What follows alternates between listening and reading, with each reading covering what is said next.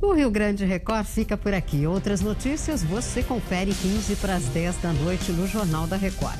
Daqui a pouquinho tem mais um capítulo de Jesus.